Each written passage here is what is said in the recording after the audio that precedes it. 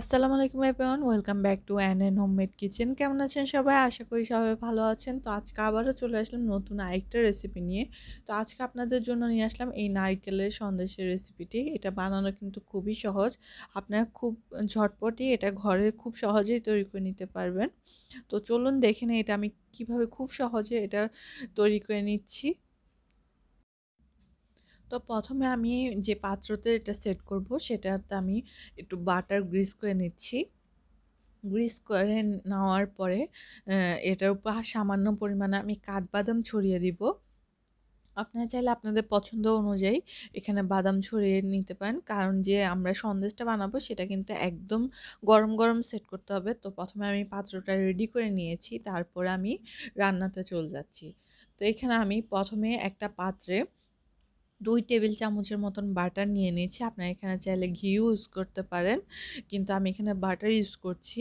তো আমি প্রথমে বাটারটাকে গলিয়ে নিয়েছি। তারপরে এখানে আমি এখন দিয়ে দিব নারিকেল এখানে আমি কোরানো নারিকেল নিয়ে নিয়েছি এক কাপ পরিমাণ। দিয়ে এটাকে আমি বাটার সাথে খুব ভালোভাবে মিশিয়ে নিয়েছি। তারপরে এখানে এখন আমি দিয়ে দিব গুঁড়া দুধ। এখানে আমি হাফ কাপ পরিমাণ গুঁড়া দুধ ইউজ করেছি। আপনারা যে কোনো কোম্পানির গুঁড়া দুধ ইউজ করতে পারেন। তারপরে এটা আমি নারিকেলের সাথে হালকা মিশিয়ে নেওয়ার পরে এখানে আমি হাফ কাপ পরিমাণ দিয়ে দিব। গরুর দুধ। এখানে আমি গরুর দুধ ইউজ করেছি। নর্মাল যে গরুর দুধ থাকে সেটা ইউজ করেছি। আপনারা চাইলে প্যাকেটের দুধও ইউজ করতে পারেন। তো আমি এটা মিশিয়ে নেওয়ার পরে দেখতে পাচ্ছেন, এটা দেখতে অনেকটা এরকম হয়েছে। তো এখন এখানে আমি একটা এলাচ ভেঙে দিয়ে দিলাম। আপনারা এখানে চাইলে এলাচ গুঁড়াও ইউজ করতে পারেন। তো এখন এখানে আমি দিয়ে দিব হাফ কাপ পরিমাণ চিনি। এখানে আমরা যে নর্মাল চিনি ইউজ করি, সেটা এখানে দিয়ে দিয়েছি। এখন এটাকে আমি মিডিয়াম থেকে হাই হিটে আমি এটাকে রান্না করব। যতক্ষণ না পর্যন্ত এটা শুকিয়ে আসছে, ততক্ষণ পর্যন্ত। তো এখন আমি এখানে দিয়ে দিলাম সামান্য পরিমাণ লবণ। তারপরে এখন আমি এখানে দিয়ে দিব সামান্য পরিমাণে জর্দার রং। এটা আপনারা চাইলে স্কিপ করতে পারেন। এখানে যেহেতু আমি একটু কালার চাচ্ছি, সেজন্য একটু হালকা হলুদ টাইপের কালারের জন্য আমি এখানে একটু ফুড কালার ইউজ করছি। আপনারা চাইলে এটা না দিলেও চলবে। আমি কালারটা একটু সুন্দর হওয়ার জন্য আমি এখানে একটু কালার ইউজ করছি, আর কিছুই না। এটা একদম অপশনাল আপনারা ইউজ করতে না চাইলে এটা ছাড়াই আপনারা রেডি করতে পারেন। তো এটাকে এখন অনবরত আমি নাড়তে থাকব। আর এটাকে আমি যতক্ষণ না পর্যন্ত একদম শুকনো হয়ে যাচ্ছে, ততক্ষণ পর্যন্ত নাড়বো। আর পাতিল থেকে যখন ছেড়ে ছেড়ে আসবে, তখনই বুঝবেন যে এটা একদম রেডি হয়ে গেছে। তো এই মুহূর্তে কিন্তু আপনাকে নাড়তে থাকতে হবে। এটা না নাড়লে কিন্তু পাতিলের নিচে লেগে যেতে পারে। তো দেখতে পাচ্ছেন আমি কিন্তু এটাকে অনবরত নাড়ছি, এটাকে আপনারা অনবরত নাড়তে থাকবেন। এটা হতে আপনাদের সাত থেকে আট মিনিট লাগবে। তো দেখতে পাচ্ছেন এটা কিন্তু আস্তে আস্তে পানিটা শুকিয়ে আসছে। এখানে কিন্তু চিনি থেকেও পানি বের হবে। আমরা এখানে হাফ কাপ পরিমাণ তরল দুধও ইউজ করেছি, সেটাও আছে। তো এগুলো সবগুলো মিলে যতক্ষণ না পর্যন্ত পানিটা একদম শুকিয়ে যাচ্ছে, নারিকেলটা একদম মাখা মাখা হয়ে আসছে, আর পাতিলের গায়ের থেকে ছেড়ে আসছে, ততক্ষণ পর্যন্ত কিন্তু এটাকে রান্না করতে হবে। তো দেখতে পাচ্ছেন আমি কীভাবে করছি, এভাবে করে করে নেবেন। আর আপনাদের কাছে যদি আমাদের এই ভিডিওটা ভালো লেগে থাকে please like our video subscribe our channel আর পাশে থাকা বেল আইকনটা প্রেস করতে কিন্তু একটু ভুলবেন না। আর পরবর্তীতে কোন ধরনের ভিডিও আপনারা দেখতে চাচ্ছেন তা আমাদেরকে সাহায্য, আমাদেরকে সাজেস্ট করতে পারেন কমেন্টের মাধ্যমে। আর আপনাদের কাছে এই ভিডিওটা যদি ভালো লেগে থাকে, আপনাদের ফ্রেন্ডস অ্যান্ড ফ্যামিলির সাথে অবশ্যই শেয়ার করে দেবেন। আর আপনারা চাইলে আমাদেরকে ইনস্টাগ্রামেও ফলো করতে পারেন। আমাদের Instagram ID N N homemade kitchen এটা আমি লিঙ্ক দিয়ে দিব ডিসক্রিপশানে আপনারা চাইলে ওখানে গিয়েও আমাদেরকে ফলো করতে পারেন। তো দেখতে পাচ্ছেন, এটা কিন্তু রান্না কিন্তু অলমোস্ট হয়ে এসেছে।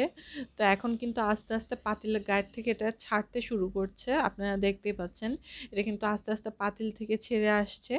তো এই পর্যায়ে কিন্তু বুঝতে হবে যে এটা হয়ে গেছে। তো এটা কিন্তু আমার একদম রেডি হয়ে গেছে। এখন দেখতেই পাচ্ছেন, এটা কিন্তু একদম পাতিল থেকে ছেড়ে গেছে। এটা পাতিলের সাথে আর আটকে যাচ্ছে না। তো এটাকে এখন আমি উঠিয়ে নিব। উঠিয়ে আমি যে পাত্রটা রেডি করে রেখেছিলাম, সেখানে আমি এটাকে ঢেলে দিব। তো এটা কিন্তু গরম, গরমই সেট করতে হবে। তো আমি তাই এখানে দিয়ে দিলাম। আর আমি চামচের সাথে সেট করে নিব। এখানে আপনি স্টিলের চামচ ইউজ করতে পারেন। সেই ক্ষেত্রে আপনি স্টিলের চামচের মধ্যে হালকা একটু তেল অথবা পাটা লাগিয়ে এটাকে শেপ দিতে পারেন আপনাদের মন পছন্দ শেপে তো আমি এখানে ঠিক করে নিচ্ছি। তো দেখতে পাচ্ছেন এটা কিন্তু শেপ দেওয়া হয়ে গেছে একদম।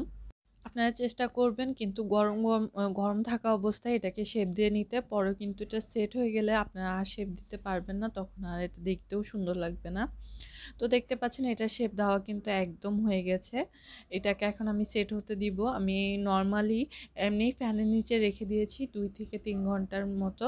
আর আপনারা চাইলে এটাকে ফ্রিজে রেখেও সেট করতে পারেন। আপনি এখানে এক ঘণ্টার জন্য যদি নর্মাল ফ্রিজে রেখে দেন, এটা খুব সুন্দরভাবে সেট করে নিতে পারেন। তো দেখতে পাচ্ছেন এটা কিন্তু একদম রেডি হয়ে গেছে। এটা সেট হয়ে গেছে। তো এখন এটাকে আমি একটা চপিং বোর্ডে এটাকে নিয়ে নিচ্ছি।